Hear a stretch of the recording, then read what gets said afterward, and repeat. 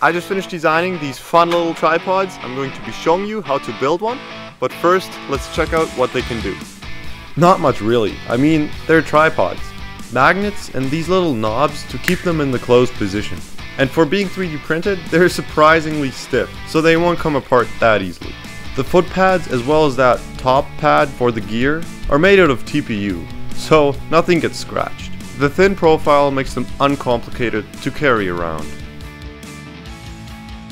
You can choose between longer and shorter legs. The shorter ones are going to be able to hold more weight.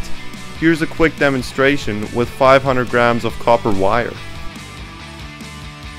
You can choose any color combination you would want. For this print, I'm using Bambu Lab Basic PLA. Also, keep in mind that the tolerances change with what material you use. For example, this tripod I printed out of matte PLA, and the feet are harder to move. This can be a good or a bad thing, you decide. Here's the hardware that we're going to be using. Some screws, some dowel pins, some magnets, that's really it. I decided to sell a kit that includes everything you need. This kit will be much cheaper if you pair it with one of my other kits. Also, this greatly supports my work. But let's have a look at what tools I used for assembly. A Phillips and hex screwdriver and some plastic glue. Alright, let's start with the center. Insert the quarter inch nut and screw in the bolt. Now attach your legs to the studs using an M2 screw.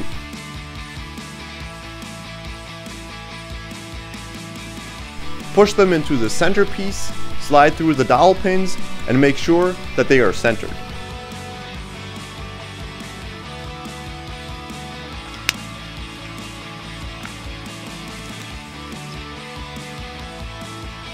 Attach the cover with the remaining M2 screws.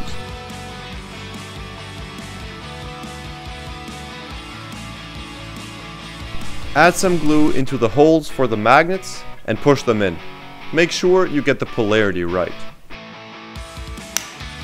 The last leg gets the M3 screw. Adjust its depth so that the legs properly come together, but obviously they should still magnetize. So there's that sweet spot you need to find. Now glue in your TPU pads. I like putting some weight on top to let them dry properly. Slide on the TPU pad on the top. It should fit nicely. It doesn't need any glue. And we're done. I hope you enjoyed this video and the build. If so, please consider subscribing and stay tuned for more. Thank you for supporting me. Have a great day.